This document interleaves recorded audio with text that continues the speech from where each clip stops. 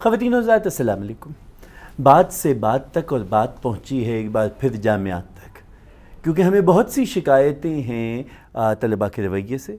हमें बहुत सी शिकायत इस बात से भी है कि क्या सबब है कि जामिया से कोई अच्छी बात, कोई पढ़ी लिखी बात सुनने को नहीं मिलती। और अगर आप तालब इल्म से बात कीजिए तो वो ये कहते हैं कि उस्ताद ने दस्तूर ज़बाबंदी ऐसा लगा रखा है कि मेरी तो ज़बान बात करने को तरसती है। क्या पाकिस्तान की जामियात में तहकीक का माहौल है? क्या बात कहने की आज़ादी है? क्या सवाल उठाने की आज़ादी है?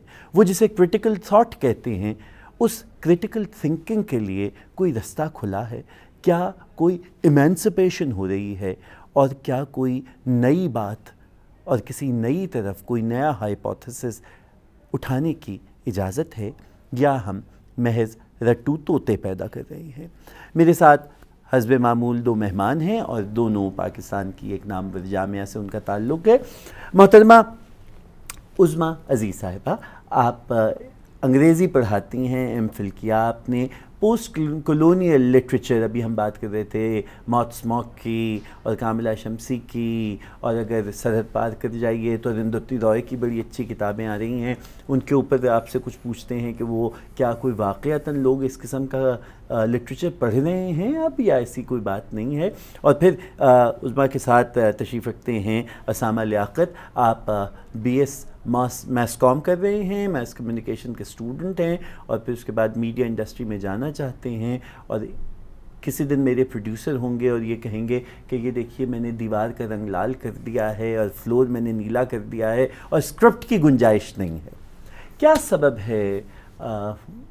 उस्मा क्या वाक़ जामिया में बात होती है? बात करने की इजाज़त देते हैं क्लासरूम में या मुँह पे हाथ रखवाते हैं? हम बिल्कुल बात करने की इजाज़त देते हैं। मेरा ख्याल है कि ये डिपेंड करता है इंडिविज वेरी करता है और डिपेंड भी करता है फ्रॉम इंडिविजुअल टू इंडिविजुअल कई लोग नहीं भी इजाज़त देते और कई लोग बिल्कुल इजाज़त देते हैं। इसका तजर्बा मुझे एज अ टीचर भी है और ज़ाहिर है कि एज अ स्टूडेंट भी है। हायर एजुकेशन के लेवल पे हम भी टीचर्स की मुख्तलिफ़ किस्म के एटीट्यूड्स को एक्सपीरियंस करते हैं। मुनासिब नहीं लगती और कत कलामी माफ़ हो लेकिन बस आपने एक जुमला कह दिया है तो सवाल यही बनता है। कौन से लोग होते हैं जो बात करने की इजाज़त देते हैं और कौन से लोग हैं जो बात करने की इजाज़त नहीं देते? जो आ, जो जानते हैं। बिल्कुल। जो लोग कॉम्पिटेंट हैं जो अपना काम जानते हैं जो कॉन्फिडेंट हैं कि जो वो करा रहे हैं वो ठीक है हम्म। और तैयारी के साथ आते हैं क्योंकि कंप्यूटर तो कोई होता नहीं है हम्म, हम्म। एक आपको वैसे ज़ाहिर है आपने एक डिग्री ले ली आप एक सब्जेक्ट में वो डिग्री आपके लिए होल्ड करती है कि आपको वो सब्जेक्ट आता है उसके अलावा जो आपने हर सेशन में जो आपने कम्युनिकेट करना है जो स्टूडेंट्स को पढ़ाना है उसके लिए अब जब आप तैयारी करके आते हैं तो फिर आप किसी को बात करने से रोकते नहीं हैं बल्कि ऐसे माहौल में डिस्कशंस जो हैं वो इनिशिएट होती हैं और क्रिटिकल थाट भी डेवलप होती है। और अगर किसी को कुछ ना आता हो तो लोग इस डर से दूसरों को स्टूडेंट्स को बोलने नहीं देते कि अगर कोई ऐसी बात कर ली जो उस्ताद को नहीं पता फिर क्या होगा? हम्म, हम्म, हम्म, उसामा तुम्हारी शिकायत क्या है? सर मैं बिल्कुल मैम की बात से एग्री करता तो हूँ। तो शिकायत नहीं रही? नहीं शिकायत तो हैं। ओके बात करने की बिल्कुल इजाज़त दी जाती है लेकिन जैसा कि मैम ने कहा कि जब आगे से सवाल उठता है किसी भी स्टूडेंट का तो अगर उस्ताद को उसका जवाब सही नहीं आता तो उसका बाद टीचर्स का रद्द अमल क्या होता है वो एक स्टूडेंट को ही पता है। सेशन में सेशनल नहीं लगते हैं सेशनल नहीं लगते हैं उनका जो है अटेंडेंस शॉर्ट। अच्छा। और उसके अलावा ज़्यादा टीचर्स नंबर कार्ड लेते हैं। हम्म, हम्म।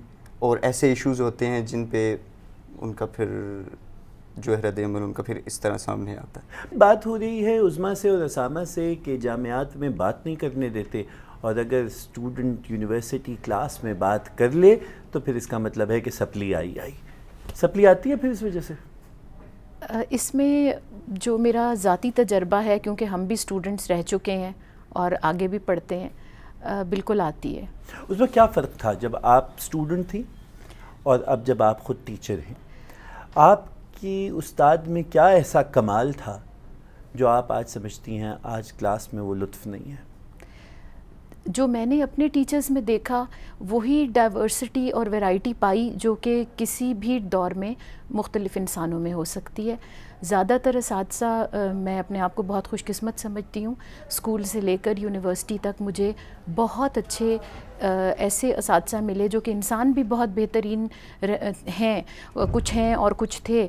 और ये है कि अपने फ़ील्ड में भी बहुत कॉम्पिटेंट थे तो उनसे पढ़ के हमने सीखा भी और उसका फ़ायदा बहुत हुआ।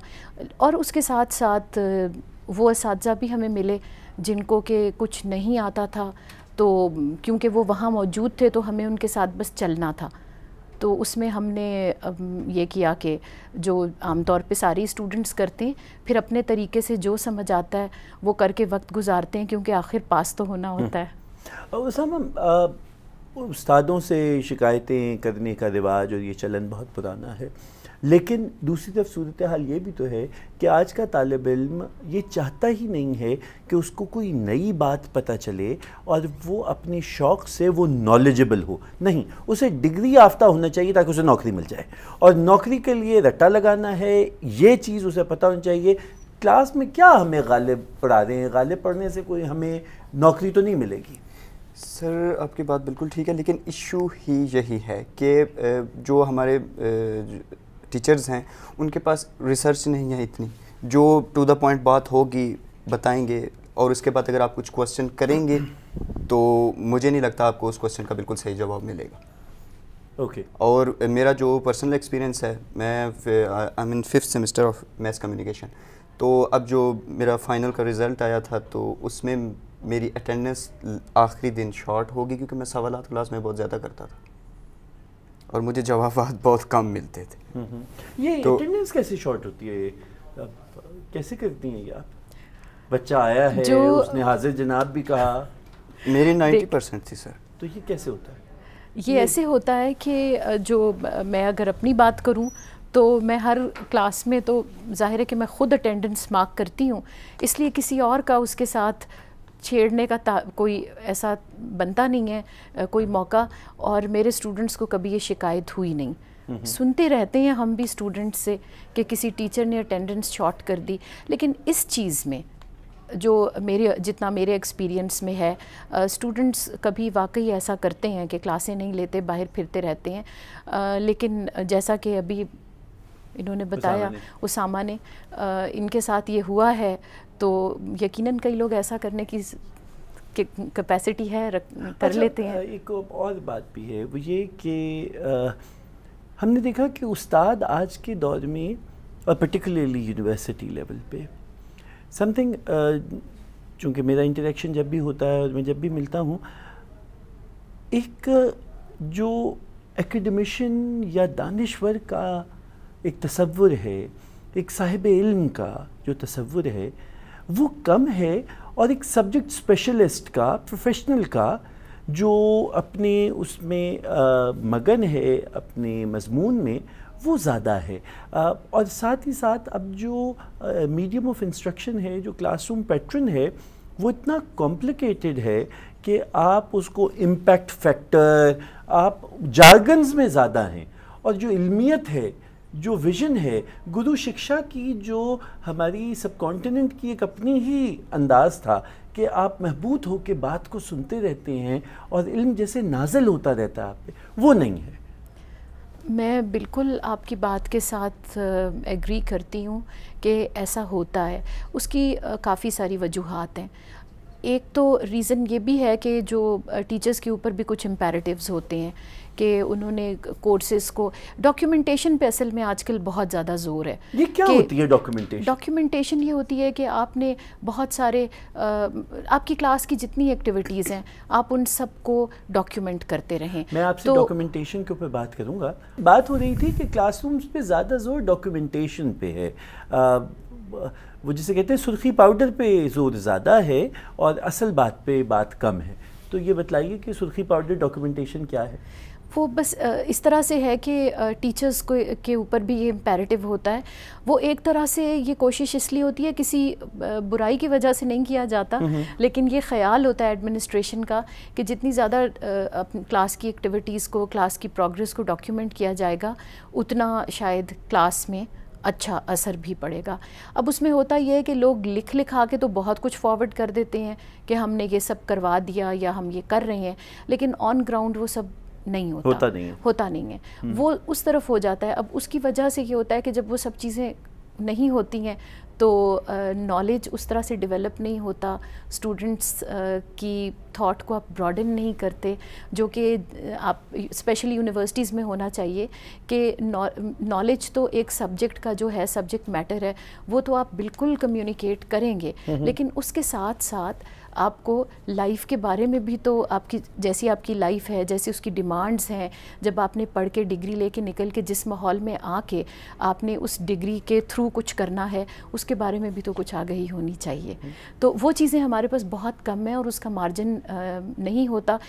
ये मैंने जैसा कि कहा ना कि ये डिपेंड करता है हर इंडिविजुअल पे।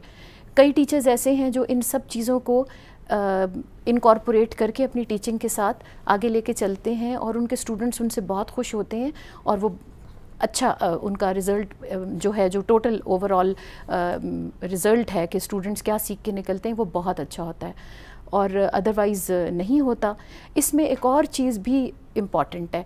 वो ये है कि हमारा जो एजुकेशनल सिस्टम है right from the early stages उसमें एक बैलेंस नहीं है। आजकल सबसे ज़्यादा फोकस जो है वो सब्जेक्ट्स के कंटेंट के ऊपर है, जो एक सब्जेक्ट से रिलेटेड इन्फॉर्मेशन है, वो तो कम्युनिकेट कर देते हैं, लेकिन एक अच्छा एक इस तरह का बैलेंस्ड किस्म का एक एजुकेशन का कंपोनेंट क्रिएट करना, जिसमें आपके लाइफ स्किल्स भी शामिल हों, जिसमें आपके सोशल स्किल्स भी शामिल हों, जिसमें आपके ये ये सब चीज़ें कि आप जो पढ़ के निकलेंगे, उस, वो उसको आप लाइफ के साथ रिलेट कैसे करते हैं, कि सारी स्किल्स आपकी शामिल हों वो चीज़ मिसिंग है। It is sadly missing if I could involve you in this discussion classroom में क्या कभी घुटन लगी कि मैं यहाँ पे मेरा सांस लेना दुशवार है? इस आदमी के सामने। घुटन बिल्कुल महसूस होती है सर। और वो उस वक्त होती है यूजली टीचर्स का ये इशू होता है कि मतलब वो तमाम जो स्टूडेंट्स होते हैं उनको एक तरह से डील करते हैं। हालाँकि जो स्टूडेंट्स होते हैं हर मतलब जैसे मतलब किसी और स्टूडेंट जो मोस्टली अर्बन एरियाज़ से आते हैं तो उनके अंदर बहुत ज़्यादा लेक ऑफ़ कॉन्फिडेंस होता है। वो उस तरह नहीं बोल सकते जिस तरह एक नॉर्मल स्टूडेंट बोल सकता है तो वो उन्हें मतलब मेंटली उनको थ्रेट करेंगे टॉन्ट मारेंगे और तुम तुम तो किधर आ गए हो? पेंडू तो पेंडू हो तुम गाँव से आ गए तुम हालाँकि शायद वो स्टूडेंट एक जो नॉर्मल स्टूडेंट बैठा हो उससे ज़्यादा लाइक हो लेकिन लेक ऑफ़ कॉन्फिडेंस टीचर्स को चाहिए थोड़ा उन्हें टाइम दें वक्त दें उस माहौल में संभलने का उस माहौल में ताकि वो थोड़ा सा हो सकें चल सकें दूसरे स्टूडेंट्स के साथ। मुश्किल होता है मतलब एक जो कॉलेज का स्टूडेंट है जो गाँव से आता है उसके लिए यूनिवर्सिटी एक बहुत बड़ी चीज़ होती है। हम्म, हम्म। तो मैं ये इस तुम्हारे साथ खुद क्या हुआ? चकवाल से तुम आए तो क्या हुआ तुम्हारे साथ? मैं चकवाल से मैंने कलर का हार से मैंने एफ़ की उससे पहले मैं कैडेट कॉलेज में था मरी में। हम्म, तो तुम्हारे तो एक्सपोजर था। नहीं मैं नॉर्मल था लेकिन जो मेरे साथ बैठते थे जो मेरे गाँव से आए थे मैं उनको देखता था। तो उनके लिए बहुत मुश्किल होता था सरवाइव करना। हम्म। और वो मुश्किल इसीलिए होता था क्योंकि जो सारे स्टूडेंट टीचर्स थे वो अपने सब स्टूडेंट्स को इक्वली ट्रीट करते थे हम्म, हम्म। जो कि स्टूडेंट के लिए एक बहुत मुश्किल होता। है उसमें ये जो एक इल्ज़ाम है कि आप डिस्क्रिमिनेट करते हैं उनके सोशल बैकग्राउंड की वजह से। इसके बारे में तो मैं यही कहूँगी कि it again depends on the teacher ये इंडिविजुअल के अपने ऊपर है कि वो स्टूडेंट्स को कैसे ट्रीट करता है। क्योंकि जो समझदार टीचर्स होते हैं उनके लिए दो तीन सेशंस काफ़ी होते हैं स्टूडेंट्स के बैकग्राउंड को गेज करने में। और अगर आपने if you have to bring out the best in them if you actually have to communicate anything to them you have to draw them out और ये फिर हर टीचर के अपने ऊपर डिपेंड करता है कि वो उसको कैसे डील करता है। अब जिन लोगों में ये चीज़ लैकिंग है, जिनमें सीरियस लैकिंग है इस चीज़ की, वहाँ पर कुछ उनके पर्सनल फैक्टर्स हैं और कुछ ट्रेनिंग की भी कमी है। अगर आपकी as a teacher proper training हो तो ट्रेनिंग में ये सारे फैक्टर्स जो हैं they are taken care of कि आप क्लास में uh, किस लेवल के ऊपर आप स्टूडेंट्स के साथ इंटरेक्ट करेंगे? Obviously we have to cater for the average student लेकिन उसका ये मतलब तो नहीं होता कि आप वीकेस्ट स्टूडेंट्स को या स्ट्रॉन्गेस्ट स्टूडेंट्स को आप साइड पे कर दें। साथ बातचीत जारी है। आ, उज़मा की बात ने कुछ नए सवाल उठा लिए टीचर्स ट्रेनिंग का एक इशू है। हमने एडमिनिस्ट्रेशन के किरदार पे आ, जो वाइस चांसलर और सिंडिकेट है उसके और रजिस्ट्रार है उनका जो रोल है और वो जो आ, एक तरह की दहशत फैलाए बैठे हैं उस पर हमने बात नहीं की। इन सब बातों पे बात होगी अगले प्रोग्राम में। तब तक के लिए इजाज़त दीजिए। खुदा हाफिज़।